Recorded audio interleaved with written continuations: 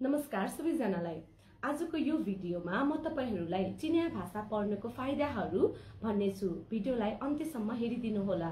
नेपाल झन् चाइनाको छिमेकी राष्ट्र भएको हुनाले हामी नेपालीहरूलाई चाहिँ झन् धेरै कुराहरूको अपर्च्युनिटीहरू हुन सक्छ यो ल्याङ्ग्वेज पढेर। किनकि चाइनिजहरू विश्वभरि आफ्नो बिजनेस एक्सपान्ड गर्नको लागि छरिएर बसेका छन्। अब सबैभन्दा बढी जनसङ्ख्या भएको देश पनि चाइना नै हो। अब दोस्रोमा पर्दछ इन्डिया। इन्डियन ल्याङ्ग्वेज पढ्न त हामीलाई केही गाह्रो भएन किनकि हामी बच्चैदेखि सिरियलहरू हेर्ने गर्छौँ। त्योबाट हामीले सिकेका हुन्छौँ कति इन्डियन भाषाहरू हामी बोल्न सक्छौँ। धेरै जसो नेपालीले चाहिँ इन्डियन भाषा सरलतापूर्वक नै बोल्न सक्छ तर चिनिया भाषा हामीलाई बोल्नको लागि हामीले पाठ्यक्रमहरू पढ्नुपर्ने हुन्छ। अब चिनिया भाषा पढ्नुको फाइदाहरू के हो त भनेर सोध्नुहुन्छ भने अब चिनिया यत्रो ठुलो देश हो।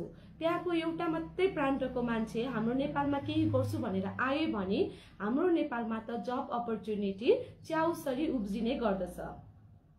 विश्वभर वाइडली स्पोकन ल्याङ्ग्वेज भनेर म्यान्थुरिन चाइनिजलाई लिइन्छ।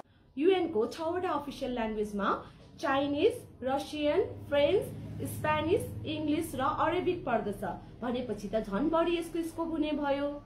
चाइनिज पिपुलहरू बिजनेसको लागि मात्रै नभएर विश्वभर अरू पर्पजको लागि पनि छरिएर बसेका छन्।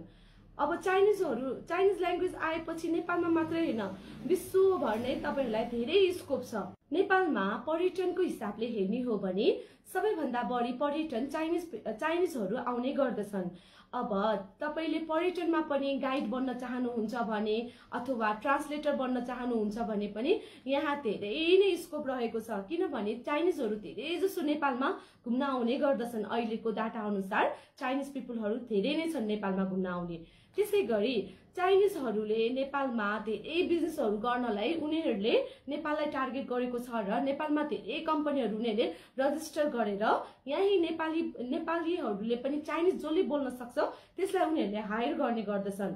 र चाइनिज ल्याङ्ग्वेज आएपछि त स्यालेरी पनि नर्मल भन्दा अलिकति हाई हुने त स्योर नै भइहाल्यो। त्यो हिसाबले पनि चाइनिज ल्याङ्ग्वेज तपाईँहरूले पढ्नु धेरै नै अत्यन्त जरुरी पर्दछ। आजको भिडियोमा यति नै। छोटकरीमा मैले जानकारी दिएको छु। चाइनिज ल्याङ्ग्वेज पढ्न चाहनुहुने साथीहरूले चाहिँ मसँग जोड्नु होला मसँग मैले जानेको कुराहरू म तपाईँहरूलाई बेसिक ल्याङ्ग्वेजको बारेमा कुराहरू सिकाउने छु मेरो यो युट्युब च्यानललाई तपाईँहरूले सब्सक्राइब लाइक गरिदिनु होला तपाईँले यहाँबाट धेरै चाइनिज कुराहरू सिक्न सक्नुहुन्छ। ओके चाइ चियन